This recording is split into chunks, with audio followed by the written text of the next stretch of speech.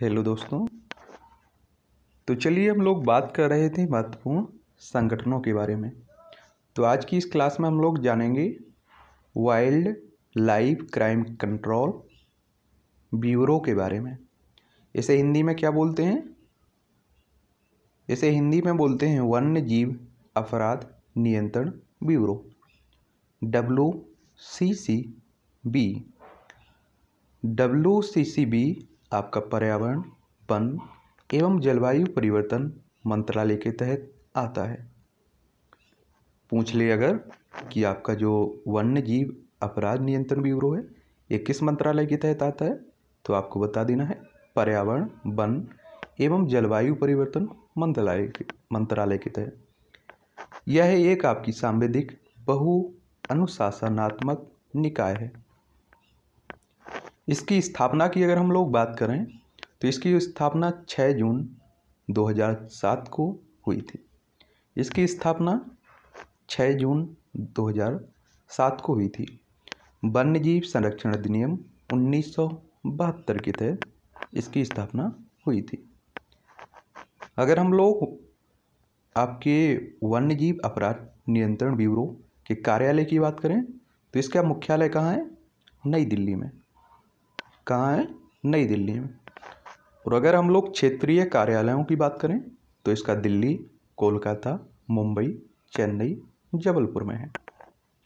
अगर हम लोग उप क्षेत्रीय कार्यालयों की बात करें, गुवाहाटी, अमृतसर, कोचीन में है।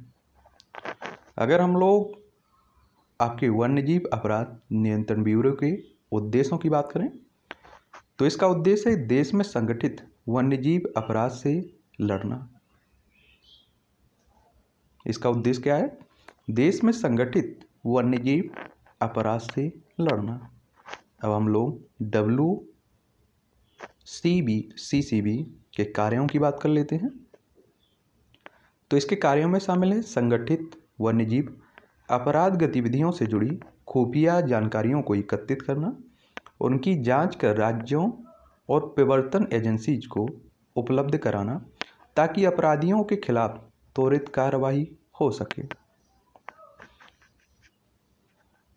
इसके कार्य में ही कार्यों कार्यों में ही शामिल है केंद्रीकृत वन्यजीव क्राइम डेटा बैंक स्थापित करना। कानून के प्रावधानों को लागू करने के लिए विभिन्न एजेंसी से समन्वित कार्रवाइयाँ करवाना। वन्यजीव अपराध नियंत्रण के लिए सर्वव्यापी कार्रवाइयों से जुड़े अंतर्राष्ट्रीय संगठनों और विदेशी एजेंसी भी सहायता, विदेशी एजेंसीज की सहायता करना। इसके कार्यों में आपका शामिल है। अन्य का, आगे भी कार्य हैं इसके? वन्यजीव अपराध में वैज्ञानिक और विशिष्ट जाँच के लिए वन्यजीव अपराध प्रवर्तन एजेंसी का क्षमता निर्माण करना और वन्यजीव अपराध से जुड़े अभियोजनों में सफलता सुनिश्चित करने के लिए राज्यों की सहायता करना। वन्यजीव अपराध के संबंध में राष्ट्रीय या फिर अंतर्राष्ट्रीय जटिलताओं, नीतिगत और कानूनी प्रासंगिकता से जुड़े मुद्दों पर भारत सरकार को सलाह देना भी इसका कार्य है। अगर हम लोग अन्य कार्यों की बात करें इसके तो W C C B custom अधिकारियों को वन्यजीव संरक्षण अधिनियम उन्नीस सौ बहत्तर के सिटीज़ और आयात निर्यात नीति के प्रावधानों के अनुसार जीवों और वनस्पतियों की खेप के निरीक्षण में सहायता और सलाह भी देता है। तो ये था आपका वन्य जीव अपराध नियंत्रण ब्यूरो। आगे हम लोग बात करेंगे अंतर्राष्ट्रीय माप और तौल ब्यूरो के बारे में। ठीक है?